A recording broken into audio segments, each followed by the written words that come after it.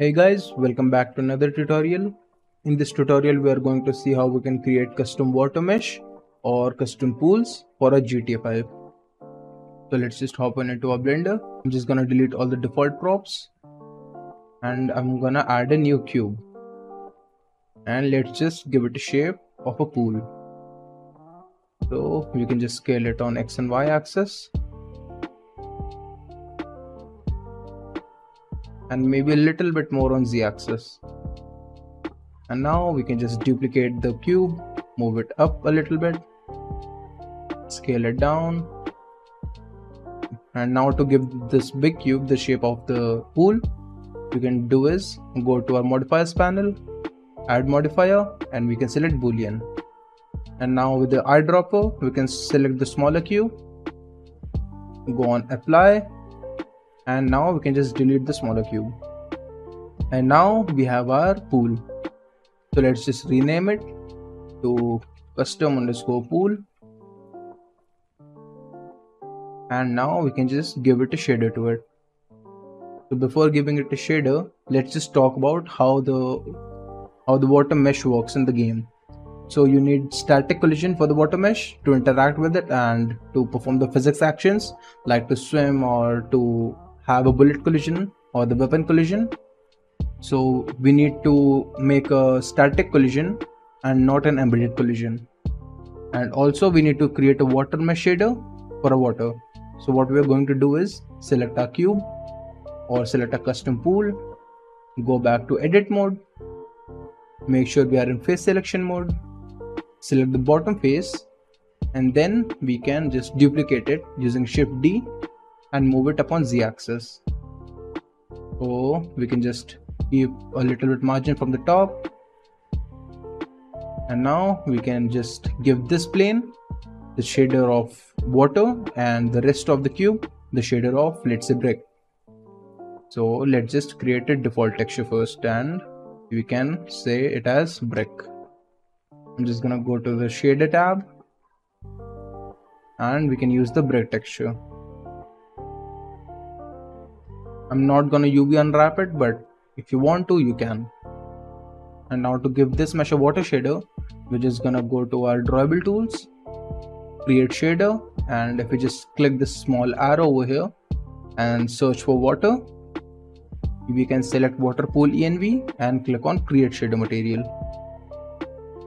And now if we just again select the cube and go back to our edit mode, Make sure the face is selected and select the water pool env shader and click on assign. So now we have our water mesh and our external pool mesh. Now we can just duplicate it and create our static collision. So if we just shift D and right click, there will be a prop placed at the same position. So we can just rename it pool underscore call so this is going to be our collision we're just gonna hide it for now. And now we can just create our pool to a drawable. Just go to create drawable objects and click the create drawable.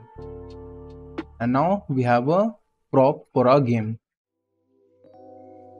And now to create a y type for the prop what we can do is press n go to the archetype definition click on create archetype and rename it to let's say custom pool.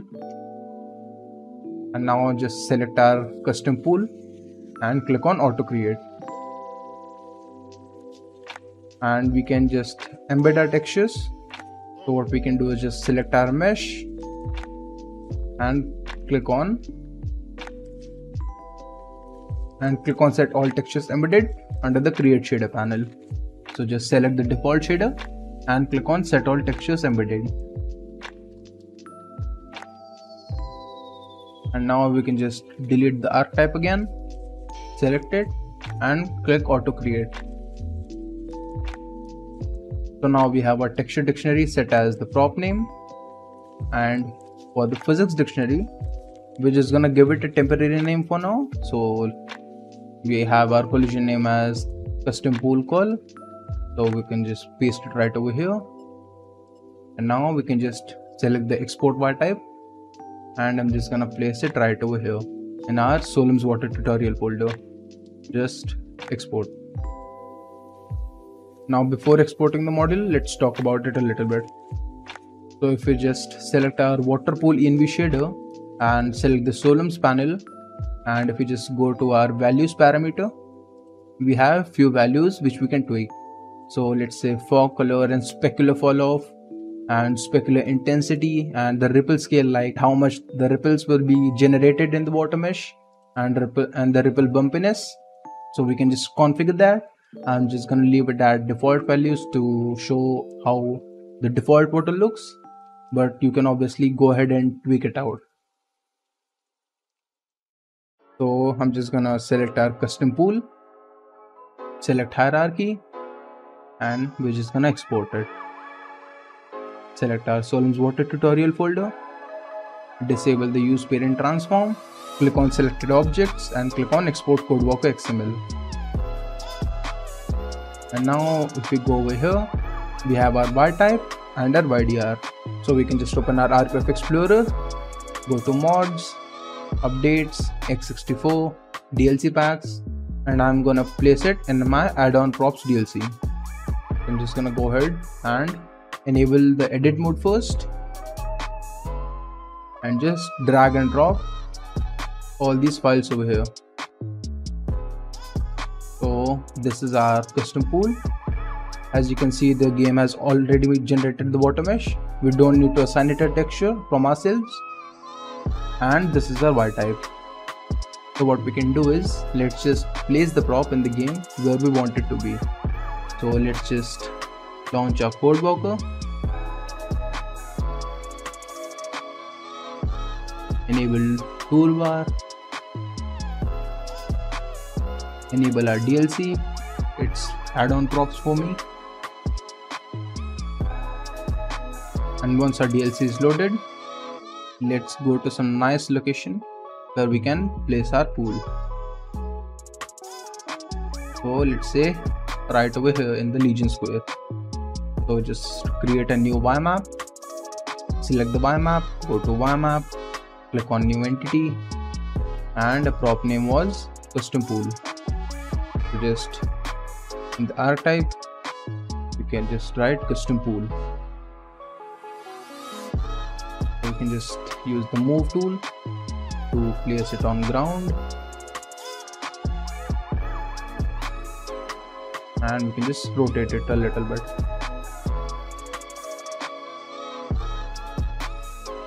And this should be fine. Go back to our project window. Select the map click on calculate all plans and calculate all extents. And then we can just save the map I already have my stream folder ready. So I'm just gonna save it right over here. Go to tools manifest generator generate and save manifest. Click on save. And now what we can do is open up our stream folder. And now we can import our YMap in our blender. So we can create static collision for it. So if we just drag and drop our YMap in our RPF Explorer like this. And then we can just right click export XML and I'm just gonna export it right over here. Save. And now we can just open our Sollumz panel. Select general tools. Go to YMap tools and import YMap. Go to our Sollumz folder and select our YMap file. Click on import. And as you can see our prop has been placed right over here so it's far away from the origin. If we want to see the exact codes we can just press n and go to items. So these are our codes for our prop placement. And right at these codes we want to place our static collision. So if we just unhide our static collision mesh and go back to a static collision we want to convert this mesh into a collision mesh. So we can just go back to our Sollumz tool go to the collision tool click on create bounds and click create bound. So this is our collision. So let's just delete the shader for now the mesh shader. And now we can just create collision materials. So for the bricks we can just search up a brick collision material. And for the water mesh we can just search for water. And add the water collision material. Now what we want to do is we don't want to assign the water texture right over here. We want to separate the water mesh because we are going to apply different flags for the water mesh and different flags for the exterior of a pool. So if we just go back to our edit mode select our face the water face right click go to separate and click selection. Exit the edit mode. And now if we see we have our water mesh separate from our collision mesh or the exterior mesh. So we can just revert our movement. And now if we look at our scene here is our water mesh. So i'm just gonna rename it to water and rename this one to let's say brick so now we want to separate our water mesh from this. So what we can do is just go back to our collision tool, select create bounds, and while selecting the bound polymesh water, we're just gonna click the create bounds. So this is our bound polymesh water. Open it, and now while selecting the geometry BVH, shift click and drag it into the custom pool collision. So now we have our separate water collision mesh with its own BVH and the brick mesh with its own BVH. We can just delete this extra bound polymesh. So just right click and delete. We can just hide our panel. And now we can just select our mesh, remove the brick texture from it. So now the mesh has only the water texture. And if we just select our mesh, we can remove our water texture from it. Now we want to apply flags for it. So first of all, let's apply flags for a water mesh. Now please follow carefully because if you just mess up the flags, it's not gonna work in game. So if you are under the materials panel, go to the Sollumz, go to the collision flags and make sure the water shader is selected, the water collision material. And just click on see through and click on shoot through effects. And then select our water mesh BVH I'm just gonna rename it to water. So bound geometry BVH water. Go to the object properties panel. Go to Sollumz and we can just set the inertia to 1 and the volume to 1 for our collision flags under the composite flag 1, we only want to tick mark the map river. Under the composite flag 2, we want to tick mark our test vehicle, wheel, test weapon, test camera, test AI and test script. And with the shape, we can set the margin to 0.005. Now we can just minimize the water BVH coming back to our mesh the brick mesh. We don't want to do anything with it. For our brick BVH we can just apply the default flags for it. Just open the Sollumz panel go to flags preset and click on apply flags preset. Now we want to place this mesh this whole mesh at the custom pool location. So if you just press n go to items. We see the custom pool location of the world where which we place our model. So we can just select our custom pool collision and set the same codes as our drawable model. So we can just copy paste. So custom pool select the x-axis select the collision and paste the x-axis.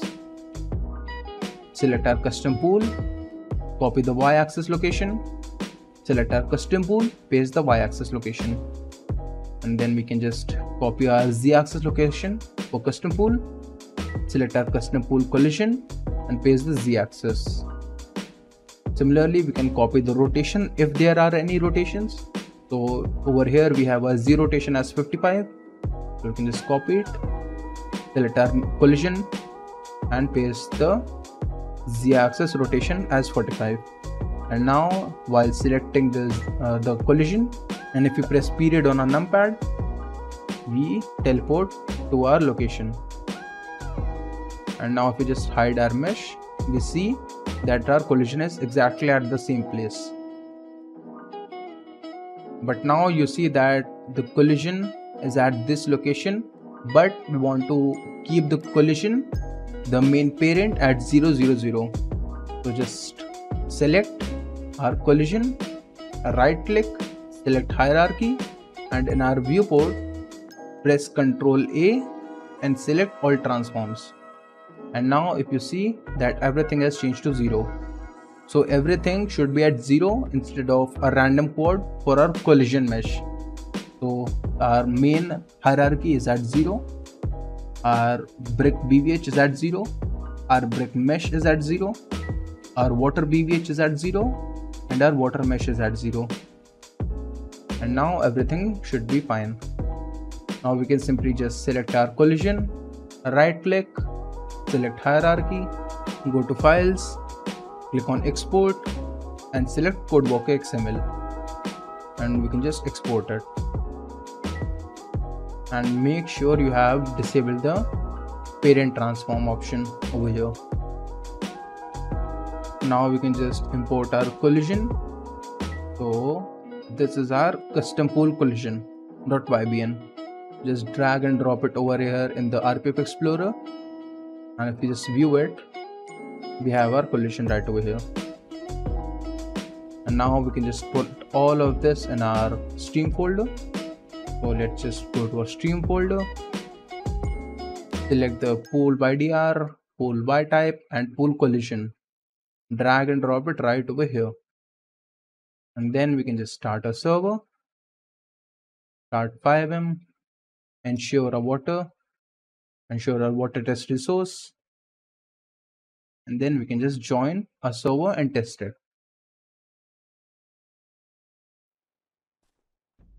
if we just teleport to let's say right over here at our legion square the pool should be right around here. So as you can see the water is visible. Let's test our collisions. So our exterior collision works fine. Let's give us some weapons. And if we just move up a little bit equip our weapon. And if you just shoot you can see that there is a water effect of shooting like you would see in a river or let's say any pool. You can just try to swim right now. And as you can see we can swim and dive as well. So everything works fine. We can also try to let's say use water vehicles in it. So let's just spawn a vehicle. Vehicle spawner boats and just use some other vehicle maybe